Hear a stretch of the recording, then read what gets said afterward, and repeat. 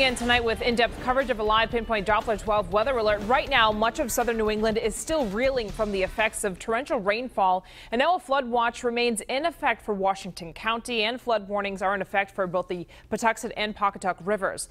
And take a look at this video from Scituate Avenue in Cranston, where drivers insisted on trying their luck today through several inches of sitting water, making the roadway nearly impassable. And check out this scene at Fall River where the abundance of rain overwhelmed this manhole cover near Davol Street, causing it to nearly bubble over. And take a look at this photo of a completely flooded out Little League field in Hope Valley. It was sent in by Peter Harrison. It's just one of many dramatic pictures and videos we've gotten today from our Eyewitness News viewers. And as you can see from live pinpoint Doppler 12 radar, we are still tracking precipitation across our area. Eyewitness News reporter Shantae Lance is standing by with a closer look at some of today's flooding, but our in-depth coverage begins tonight with meteorologist Pete Mangione. Pete. Hey Kelly, in such a crazy morning earlier, we had uh, so many flood reports. I haven't seen a list like that in a long, long time, listing all the locations of the different streets and intersections that were underwater. Now, let's stay on the topic of Hope Valley. That's an area which right now is seeing some more rain showers, and some of these could be heavy moving through, and this will be an issue here for the next several hours with those areas which saw some flooding earlier, seeing a repeat of the flooding. And keep in mind, it's not going to take as much rain to do it this time because much of the ground is already saturated. We have some of those streams which are swollen. And uh, again, the ground very wet out there. You could see some more specks of yellow moving into places like uh, Kingston, approaching Newport, Jamestown, and into Fall River. We could also see some more showers return where we had some uh, flooding problems earlier. All right, let's take a look at the latest watches and warnings. This can get a little confusing, so we'll break it down quickly here. Flood advisory, this is pretty much for everybody until 745 this evening. Again, that's those areas which flooded earlier may see some more rain and downpours, and that could lead to some repeat flooding, so be mindful of that. The Pawtuxet River here in Cranston already at minor flood stage, expected to crest this evening and then fall below flood stage, potentially not until Tuesday. And then, of course, we're watching the Pawcatuck River for two areas, Wood River Junction in Washington County and also Westerly. Much more information on the weather forecast. Also, some amazing rain totals from earlier this morning. I will post those coming up in just a few minutes. All right, Pete, thanks. Today's flooding is taking its toll on many of the usual trouble spots, including here on Fletcher Avenue in Cranston, where the road was shut down earlier today because of the heavy rain collecting in the street. And even though the bulk of the rain has passed, there's still some concern tonight for people who live and work along the rising Pawtuxet River. Our pinpoint weather team coverage continues now from Cranston with Eyewitness News reporter Shantae Lance. That's right. It's been a busy day for both residents and authorities. You can actually see this truck pulling through the water right now. This has been the repeat scene all day. Cars just trying their luck coming through the water here. The calls have come in about flooded basements and streets, including here on Fletcher Avenue in Cranston. There have been yellow cones set up to keep drivers away, but as we noticed all day, that has not always been the case. Eyewitness news cameras were rolling Sunday, capturing one driver after another on multiple Cranston streets, risking their safety by driving through these floodwaters. Some of those drivers chose not to speak with me on camera, but Israel De Leon of Providence did. He obeyed the orange cones set up by police to keep him and his family riding with him safe. Every year it's have that problem. De Leon says he learned his lesson nearly two decades ago after he and his co-workers were stranded driving through Fletcher Street. Years ago, yeah, I working over here in the place, and uh, it's a long time, almost 18 years, something. A repeat scene here in Middletown where multiple streets were closed off. Dispatch responded to many calls of flooded basements and streets. Fire crews say they rescued a woman after driving her pickup truck into rising waters.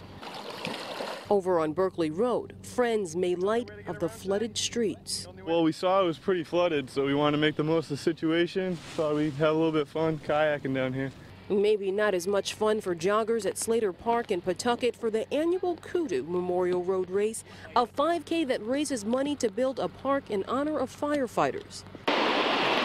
Back in Cranston, police kept busy monitoring the rushing waters on the Pawtuxet River. As for local drivers, it's business as usual. No, it's all the time, you know, that's the, the problem.